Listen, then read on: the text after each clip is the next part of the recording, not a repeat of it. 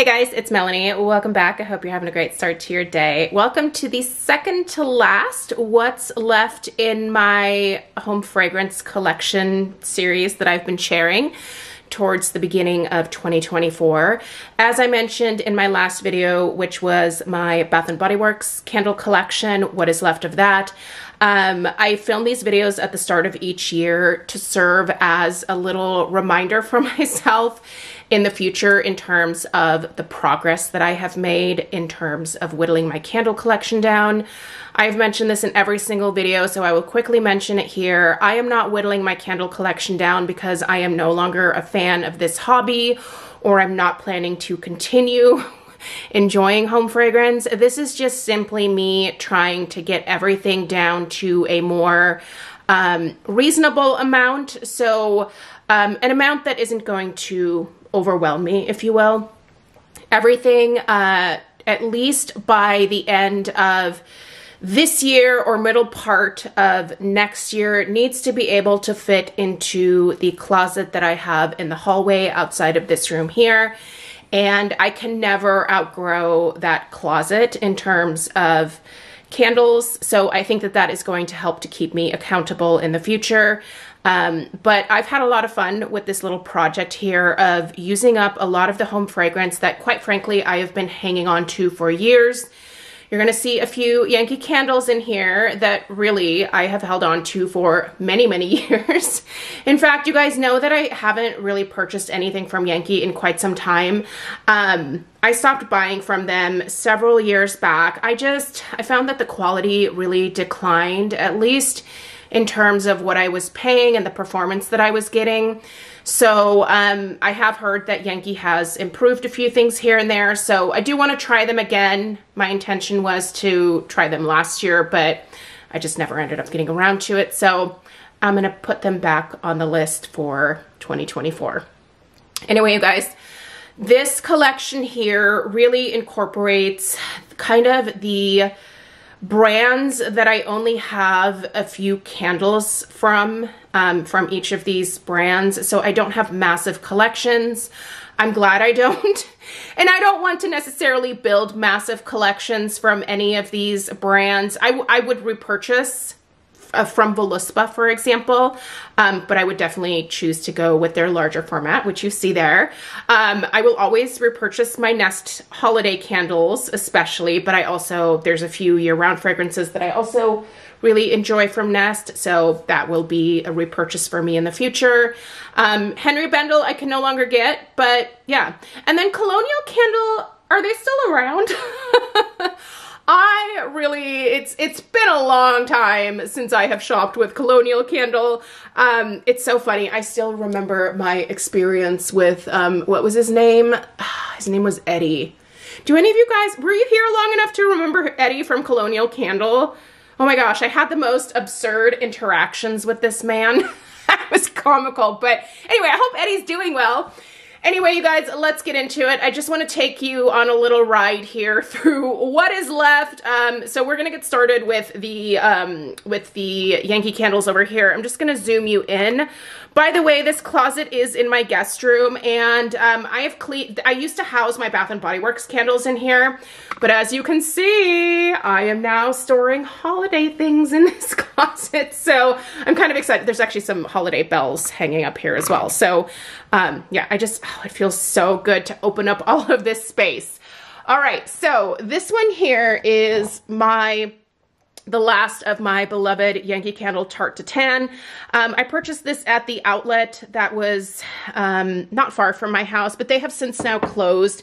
There was a really nice Yankee uh, Yankee Candle outlet down in Wilsonville here in Oregon, but they closed a number of years ago. Um, and sometimes they would get some European exclusives, and that's what this was. Um, you can tell this is a European candle because the label on the bottom is totally different. Um, and I don't think the scent was ever released here. So anyway, um, I had a few of these. I used one last fall and then I have this one left for this fall. Here. Sorry about that little interruption. Let's move on with um, my last Yankee Candle Sugared Apple here. Um, this great scent. And I do believe this one was re-released just this past holiday season. It went away for a long time this is an amazing scent from Yankee. I do hope that they keep this one around. I would probably actually repurchase this.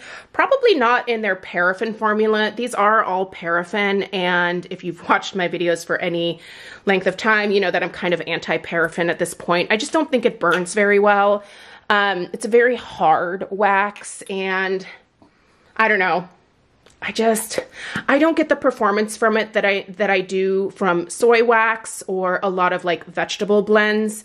So for me paraffin is a little bit of a pass, but um yeah, if I guess if I could only get sugared apple and paraffin again, I might consider it, but I would probably honestly just crock it. So anyway, this one Smells quite strong on cold sniff, so I think I can burn this one at least to the halfway point, um, and then I'll probably pop it into the crock anyway. Sorry. The rest of these four candles here are all a former love of mine, Pumpkin Wreath. Oh, do you guys remember Pumpkin Wreath? I distinctly remember calling my local outlet and asking them if they had a bunch of these in stock, and they did. And so I drove down to Wilsonville from Portland and I bought uh, probably 10 or 15. Too many. I bought too many. I can tell you that. I did sell a few of these on Mercari back in the day. Um, I decided to keep four. I think I will go ahead and burn through at least a couple of these this coming fall season. It's a great fall scent, you guys. Um, if you have any information, if this is like ever coming back to Yankee, um, let me know. I I probably would actually repurchase that. Next to that, we have my my last two Henri Bendel vanilla beans. Ugh, so sad. Um, yeah, I do. I was told by someone who lives near one of the Bath and Body Works test stores that they released some Henri Bendel candles in a three wick format, but the associate, when they asked them, wasn't really sure in terms of like what the future of these Henri Bendel scents was with Bath and Body Works. So um, I certainly hope that they that they bring this brand back to Bath and Body Works. I know a lot of people loved it. My favorite scent was definitely the vanilla bean, but they also had a really beautiful cashmere scent. They had some lovely florals. I think their peony was um, a really popular scent as well. But yeah, anyway, Bath and Body Works, if you are listening, um, if, if you brought Vanilla Bean back, especially in a three wick, holy cow, I'd be there like next Tuesday. Let me know. okay, next to that we have um, a very small Nest candle collection. It's to be a little bit smaller here in the next couple weeks because I'm to finally get around to reviewing this Nest Bamboo, which is the one that you see at the top there. Below that are two backups of Nest Holiday, which is a staple of mine every single year, um, alongside my um, Birchwood Pine. So what's great about having these two is that so for this next holiday season, I will not have to purchase, hmm, well, sometimes I like to go through more. I don't I don't think I will. I'm sure there's going to be plenty of other candles from other candle companies that I can enjoy. Plus, I still have I still have plenty of holiday candles from other companies as well. But I will have to get at least two of my Birchwood Pine, um, which is the second uh, fragrance that is a must have for me every single holiday season from Nest Candles. So when they go on sale at Sephora during the November um, savings event that they have every single year, I will pick up two from there because I can get them for 20% off. So um, I do love Nest Holiday. I will always, I will always repurchase that every single year. What's great is that what I can do next year is once the after season sales start, I was finding these Nest Holiday and Birchwood Pine and then the other holiday scents that were available this year. I was finding them for up to like 30 and sometimes 40% off at different websites. So um, I will buy the ones that I need for 2025 at the end of this next holiday season so I can save some money on them. And then again, I'll just pop them in this closet and they'll be ready to go for Christmas 2025. Um, Nest candles are expensive. So when they are on sale, that is a brand that I will be willing to purchase, even though it'll probably have to be stored away for a little bit. Um, I just think that makes a little bit more financial sense. I, I know that I use it every single year, so as long as I'm using it and not just hoarding it, that's fine. So, all right, I'm gonna move you guys over just a touch here. And next we're gonna discuss Voluspa. So right now I only have two, I've, I've burned um, a number of Voluspa candles.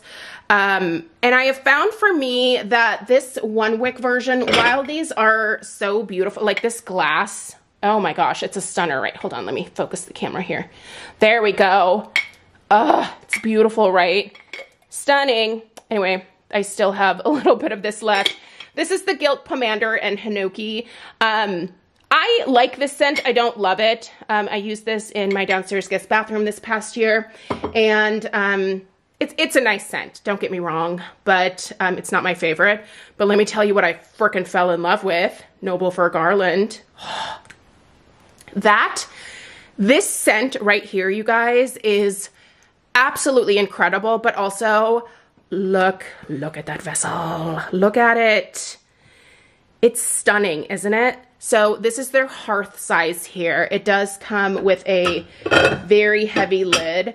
Um, so clearly I only went through about a third of this for this holiday season. And um, so it might, mm, probably not because I plan on busting this out in November. Um, I did not get this particular one until well into December. So, um, you know, um, I have a feeling that this next holiday season, I'll be enjoying this one a little bit more frequently than I already have. So anyway, if this scent comes back, again, once it goes on sale after the holiday season, I would absolutely purchase another one of these hearth candles. The thing is, I don't know as much about Voluspa. I haven't been shopping with them um, as long as I have with some of these other companies, so I'm not familiar enough with them to know whether they bring the same scents back every holiday season or if they switch it up. I do know they have like a peppermint candy cane scent that does come back every single year. That one looks quite familiar to me. I see it a lot. It has very distinct packaging. But I'm, I'm not sure about the other holiday scents. So I'm not sure if this was some exclusive for Christmas 2023 or again, if it will be back. If you have more Voluspa information, let me know. That really is a brand that I am looking to dive a little bit deeper into.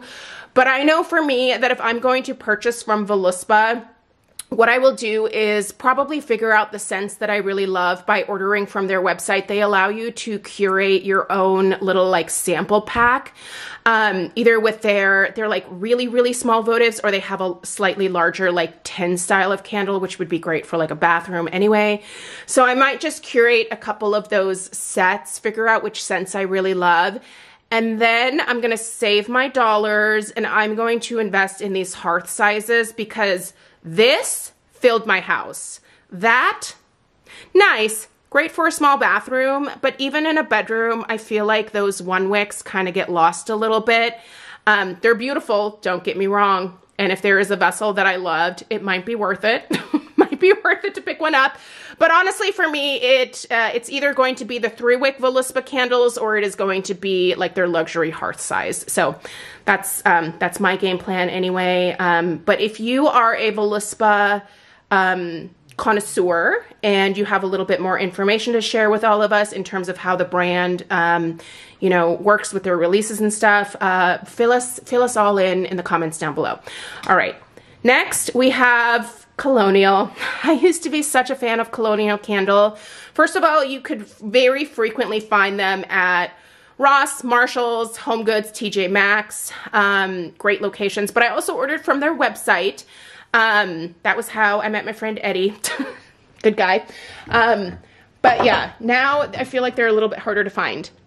One of my all-time favorite scents was this, uh, what was it called? White Pumpkin and Clove. Oh my gosh. Did you ever get your hands on this? Oh, it's so incredible. I don't think I've found anything quite this wonderful, at least in terms of like white pumpkin scents. Um, it is heavenly, absolutely heavenly. And I kind of nursed this one along and then put it away. Um, I do think that this this coming fall season, I will take this one downstairs and I will finally finish it. Um, Colonial has these beautiful like oval jars, which I really think are different and unique. They don't always burn the best, and they do use a paraffin formulation, I, if I remember correctly. Sorry, I'm looking at the bottom here. No, they don't indicate down here, but this looks like paraffin to me. Um, whoa, uh, did I buy this at, is this from 2011? I'm not sure how to read the dates, uh, from Colonial. If you know, let me know, but I'm just looking at the bottom here. Um, I think this might be a 2011. Boy, she's old. Um, anyway, I, I think I ordered that online though. I'm pretty sure I ordered that online. I'm pretty sure I ordered these online as well. And what is this one? It is their delightful sweet iced tea. This beauty right here. So I obviously have three of those, but that's what those are. Um, oh man. For a while there, I kind of got tired of this scent. So I put the last three that I had in this closet up here and then just kind of forgot about them for the last few summers. But this is good. Oh man, this is good. Yum. Okay, well, I'm gonna burn through these this summer. So this is a very sweet iced tea scent. Uh, could, I could see where someone might find this one slightly cloying. It's a very, very sweet tea scent. Um, this is what I imagine like a southern sweet tea um, tastes like, you know, with like this amount of sugar. Man, sometimes like I have tried some sweet tea from like different people, different friends of mine who like make their own sweet tea. Um, there are definitely varying amounts of sugar that you can add. Some of my friends add, I swear, like five cups of sugar to their sweet tea, and some just add a little bit. I don't know. I think there needs to be a happy medium. this is quite sweet, but it does smell good. Anyway, you guys, that's it. That is what is left of this like random collection here, I guess you could say. Um, I'm pretty proud of how far this collection has come as well. Um, I mean, this is it. And honestly, I, I, should easily be able to move whatever is left at the end of this year into the closet. Um, I don't think there's going to be much left from here because if those sweet teas are gone by this summer, if that white pumpkin goes away in the fall, the nest candles are obviously going to go away. Um, the vanilla beans, I do think I might save until next January just because I like vanilla bean then. But yeah, like there's really not going to be much left at the end of this year. I'm really proud of myself. this feels so good, you guys. Honestly, this just brings me a lot of joy to see how far I've come with, um, with using a lot of this stuff up. It really makes me happy. And um, yeah, while I'm always going to buy new candles, I don't I no longer feel like I need to just keep them all, you know? Like I can enjoy them. I'm worth it. I'm using the good stuff every single day now, and if you have a little bit of a block around that, I really encourage you to try to get past it because it feels really good to actually enjoy the things that you spend um, a lot of money on. And candles are not, they're not cheap. They are not. I mean, that Voluspa candle is, that was horrifically expensive, but I love it. I really enjoy it. I'm going to continue to enjoy it this next holiday season. So it's worth it, but I can't, you know, let stuff like this pile up. So anyway, you guys, thank you for being here for this series. We do have one more video that is to come and I have saved it uh, for last uh, just because it is, it's my Kringle candle collection and those are housed downstairs and they're kind of in a difficult to get to place. So I've kind of dreaded dragging all of those out but I'm gonna get to it, I promise. So at any rate, um, yeah, if you guys are interested in the Kringle candle collection, stay tuned for that. It should be up next week at some point. If you are new here, please uh, subscribe and don't forget to give this video a thumbs up for the algorithm and I will see you guys in the next one. Take care. Toodaloo.